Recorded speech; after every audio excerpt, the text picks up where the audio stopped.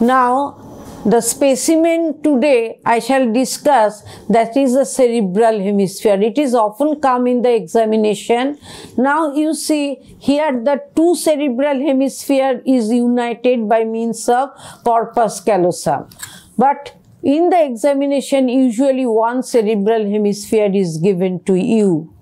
Now this is the anatomical position of the cerebral hemisphere. This is the left cerebral hemisphere. Why it is left? Because in the anatomical position, the frontal lobe, you will see that is blunt. The occipital lobe, it is tapering. So the blunt uh, frontal pole is situated in front and you will see the temporal pole, it is directed towards the frontal pole. So this is how you will hold the anatomical position and you can say this is the hemisphere of the left side. Now in the hemisphere you will get the different borders and surfaces. What are the borders and surfaces? The surfaces are the convex supero lateral surface. You will see this is the convex superolateral surface. Now this is the flat, flat medial surface you will see and concavo convex that is the inferior surface. Again, inferior surface is divided by the lateral sulcus stem into anterior orbital part and the posterior occipital part or the tentorial part. Now, you should locate the where the central sulcus is situated. How will you identify the central sulcus? It is not centrally situated, but it is situated one centimeter behind the midpoint of the frontal lobe and the occipital lobe. So this is the central sulcus and central sulcus cuts the superomedial border. So this is the central sulcus and in front of the central sulcus there is the precentral sulcus if there is the uh, it is not continuous so you can draw the line so that it can make the sulcus prominent now this is the prefrontal gyrus. In this front prefrontal gyrus, you know our all motor activity that are, we are holding it, this specimen or you are doing writing and everything, all motor activity, it is mapped in this region. And in the human being, it is situated upside down, that is like the Shirshasana. So behind the central sulcus, this area is known as postcentral gyrus. Here all the sensation are perceived. What are the different types of sensation? There are crude touch, there are fine touch, the hot, all types of sensation is perceived in this region. Now, the in front of the central sulcus, this area is known as the frontal lobe. Behind the central sulcus and on the medial surface there is a sulcus which is known as parieto-occipital sulcus. So in between these two this is the parietal lobe and this is the occipital lobe. In the medial surface you will see the white matter. This is known as the corpus callosum.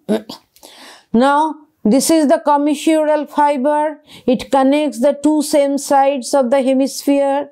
You see, this is known as the rostrum of corpus callosum. This is the bend of genu.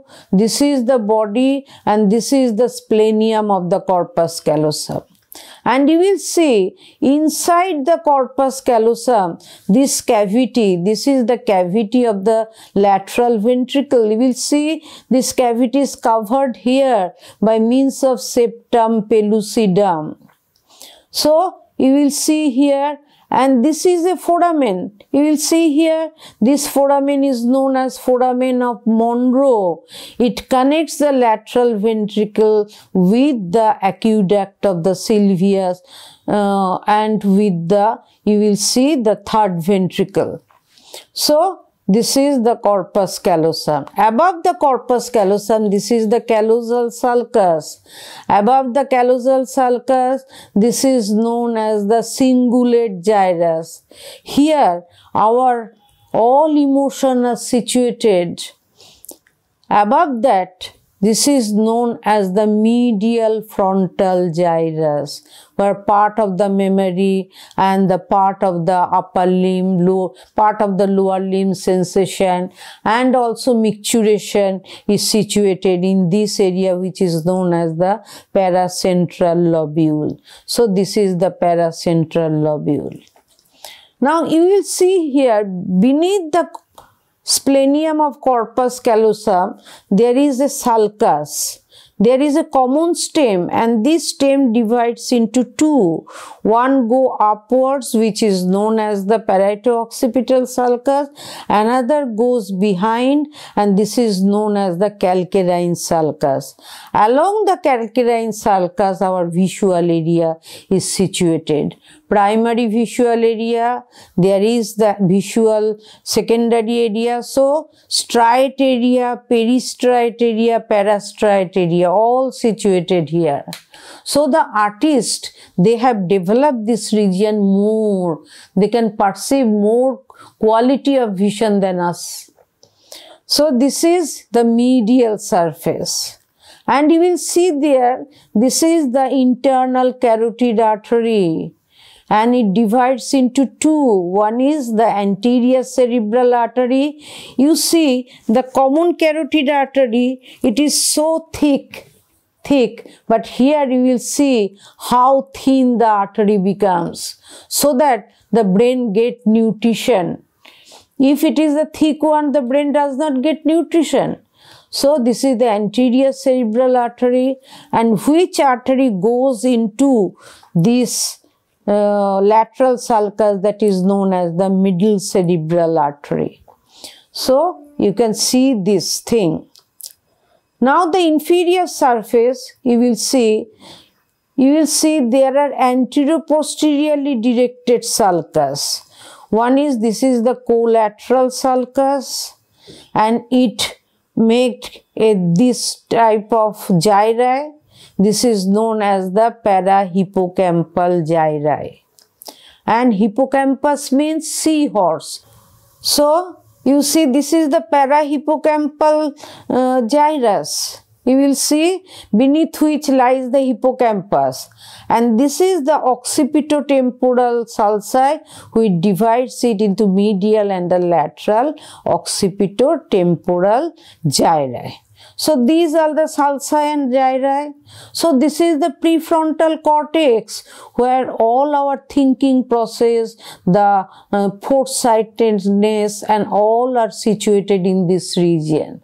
So we see in the our deity, we make a third eye here because this region is for foresightedness, forbearance, uh, all the thing. So and this thing is developed in case of poet, in case of the intelligent person. But uh, it is also developed in case of the person who uh, lying in the underworld also. But their development is retrograded. Next, you will see in this region rise our Broca's area. That means the area of speech, motor area and in this region rise the posterior speech area or the Wernicke area anterior speech area and posterior speech area and here lies our auditory power. That means we can hear through this region. So this is the uh, surfaces and important sulci and gyri of the cerebral hemisphere Thank you everyone.